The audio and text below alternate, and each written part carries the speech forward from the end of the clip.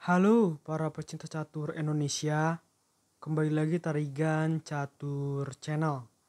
Kali ini admin Tarigan Catur akan menampilkan ya salah satu permainan catur menarik dari turnamen PON Papua 2021 nomor catur standar tepatnya pada babak ke-7 yang melibatkan pertarungan antara Women Grandmaster Iren Karisma Sukandar yang menggunakan catur buah hitam menghadapi perlawanan dari Women FIDE Master Retno Wijayati yang menggunakan catur buah putih. Tanpa berlama-lama, langsung saja kita masuk ke permainan ya. Di sini, WFM Retno memulai permainan dengan pion E4 dan dijawab pion E5 oleh WGM Iren. Kuda F3 dan kuda C6. Gajah B5 memilih pembukaan Rui Lopez oleh WFM Retno dan dijawab dengan kuda G menuju E7 oleh WGM Iren. Ini adalah variasi pertahanan Kozio di dalam pembukaan Rui Lopez. Pion D4 mengajak pertukaran pion di petak pusat yang jelas diterima ya. Pion pukul pion di petak D4 dan kuda pukul pion di D4. Pion A6 mengancam gajah putih. Kuda pukul kuda di petak C6 dengan memanfaatkan tempo ancam menteri. Lalu kuda pukul kuda di petak C6, gajah pukul kuda di C6, lalu pion B pukul C6. Di sini maksud dari WGM Iren adalah mengosongkan lajur B untuk memberikan ancaman langsung terhadap pertahanan set menteri dari putih. Rokade pendek oleh putih dan gajah E7, gajah E3 dan rokade pendek oleh hitam pion C4 mencegah agar pion WGM Iren tidak maju dua langkah ya.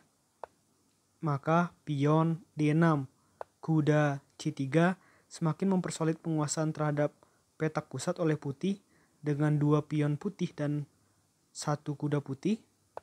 Sehingga balasannya adalah pion F5. Ini untuk mengurangi penguasaan ruang oleh putih.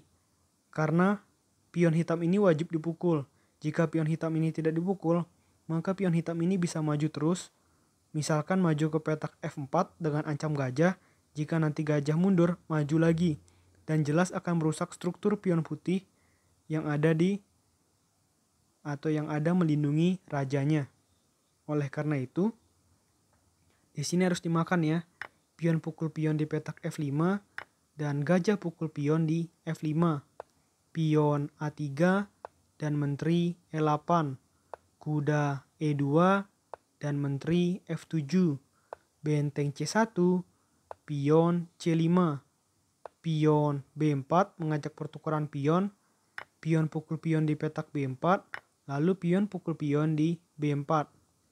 Pion A5 terus mengajak pertukaran pion yang diterima. Pion pukul pion di A5, lalu benteng pukul pion di A5. Kuda F4 dan gajah E4. Pion F3 mengancam gajah dan gajah mundur ke C6. Kuda D3 mereposisi posisi kuda putih ke tempat yang lebih baik. Lalu menteri F5. Kuda B4 mengancam gajah dan gajah mundur ke A8. Menteri B3 di sini Menteri Putih menguasai petak diagonal A2 hingga G8 otomatis berada di satu petak diagonal dengan Raja Hitam. Dan karena di sini ada ancaman cukup berbahaya setelah pion memajukan satu langkah menjadi skak secara tidak langsung ya, maka Raja Hitam pindah ke H8. Kuda D5 di sini sebenarnya posisi dari WFM Retno sangat kuat dan gajah mundur ke D8. Benteng A1 mengajak pertukaran benteng. Benteng pukul benteng di petak A1, lalu benteng pukul benteng di A1. Gajah C6, benteng A7 mengancam pion hitam dua kali baik oleh kuda maupun benteng putih dan pion H6 gajah D4 menteri G5 dan Menteri E3 mengajak pertukaran menteri yang ditolak oleh WGM Iren. menteri mundur ke G6 dan di sinilah penyebab kekalahan dari WFM Retno. Di sini WFM Retno terlalu berambisi untuk menggarpu menteri dan gajah. Namun ini adalah sebuah kesalahan. Ini adalah sebuah kesalahan walaupun tampaknya adalah bagus. Dengan kuda menuju E7, menggarpu menteri dan gajah namun ini kesalahan besar. Jelas gajah pukul kuda dan menteri pukul gajah. Dan di sini pun sebenarnya setelah benteng ke F7 mengancam menteri, di sini mungkin menurut admin lebih baik menteri ke petak D8 untuk skak ya.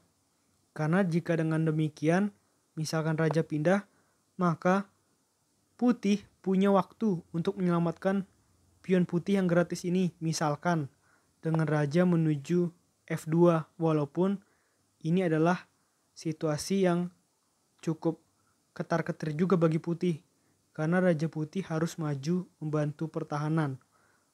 Namun memang karena tadi kuda ini dilepas, maka rusaklah semua pertahanan dari UFM Retno. Jelas ya, setelah benteng ke F7, justru Menteri Putih mundur dan di sinilah gajah pukul pion sudah benar-benar mendominasi, ada ancaman skakmat di petak G2 oleh karena itu benteng mundur dan pion C5 mengancam gajah, lalu gajah C3. Benteng B7 dan setelah Oh iya, di sini benteng B7. Kita lihat di sini ada ancaman benteng menuju ke petak B1 mengancam menteri dan raja putih. Jelas di sini sudah tidak ada lagi yang bisa dilakukan oleh putih sehingga putih skak dan setelah raja pindah ke H7, maka tepat di posisi seperti ini UFM Retno memutuskan untuk menyerah. Karena jika pertandingan dilanjutkan, maka jelas di sini putih terpaksa ya harus menteri menuju petak F2 untuk melindungi agar tidak terkena skakmat. Tetapi ini percuma karena setelah benteng skak Misalkan gajah menutup, pukul saja ya. Benteng pukul gajah skak, menteri pukul benteng, dan menteri pukul pion skakmat. Atas kemenangan ini, WGM Iran berhasil untuk terus menjaga peluangnya mendapatkan emas pon perdananya di turnamen ini. Oke, menurut admin Tarigan Catur, video kali ini cukup.